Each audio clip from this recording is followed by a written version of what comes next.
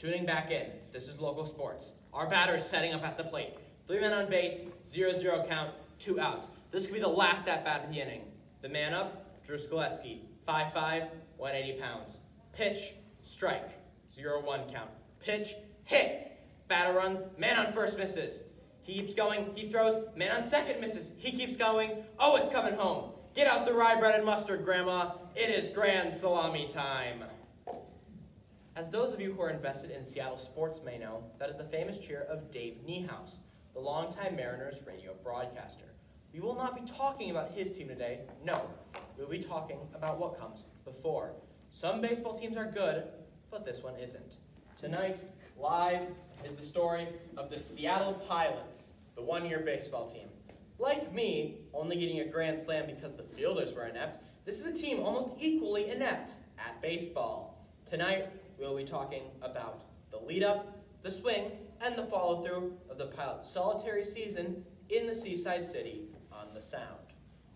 As you all may know, baseball is old, very old, and the most important part is swinging to hit the baseball.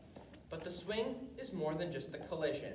The attack, wind-up, and follow-through are all equally important parts to understanding the baseball. As Kurt Schaefer said in his summer 2000 article about the pilots, until 1957, Major League Baseball only went as far as St. Louis, so the PCL was the only show in town. The PCL, or Pacific Coast League, was a West Coast baseball league in the, in the early 1900s. In 1932, the Seattle PCL Stadium burned to the ground. This was probably arson. This forced the Seattle team to move to a stopgap and then move to a stadium which would be known as Sick's Stadium, named for the brewer who would go to bail the team out of their financial woes.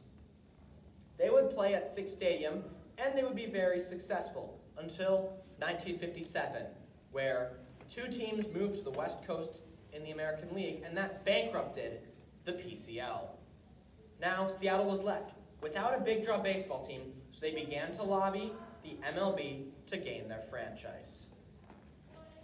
During the 1957 World Series, a meeting was made between local politicians and the MLB owners to give the Royals a franchise. In order for the American League to be balanced, they would need a 12th team, and that became Seattle's franchise. This team was set to play at Sick's Stadium, which had proved to be a terrible home. The nearly 30-year-old stadium had problems with leaky sewage, bad water pressure, and they had to ship in a battalion of porta potties to fill up the bathroom capacity. Talk about sick. The team would be miserable, finishing last place in the American League Western Division. Additionally, with limited fan support and running out of money, again, something would have to change. That change came in 1959 when, during the World Series, Bud Selig of Milwaukee sent a $13.1 million offer to purchase the team. The American League owners were tempted, but the state of Washington threatened antitrust legislation to keep the team in the city. Additionally, the new Seattle baseball stadium, which was supposed to be finished the next year, had been barely even started. The deal was about to be finalized, but the mayor of King County and a local attorney teamed up to sue the AL and its creditors over investment protection. But to both their dismays, the team would end up being sold to Selig. Local townspeople didn't even want the team. As the judge presiding over the case stated, I've passed people on the street who say, take the bloody ball club away. We don't want the damn thing. Team would be sold and would end up being known under a more familiar name, the Milwaukee Brewers. Seattle did end up retaining a deal to later land the Seahawks and the Mariners in the 70s. Baseball is a strange and arbitrary game, and ultimately, the swing of a single bat is fleeting compared to the length of a single game.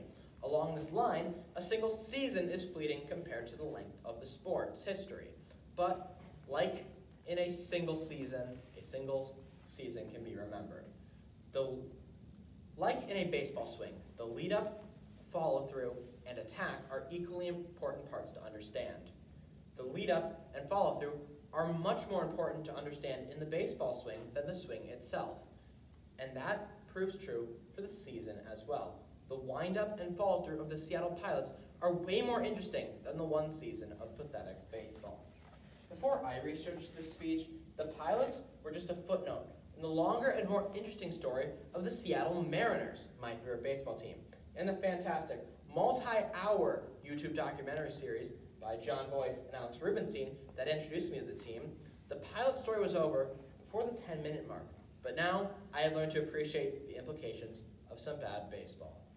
Like an inside the park grand slam, a single season is a flash in the pan, but it can be remembered, just like I and many others remember the pilots.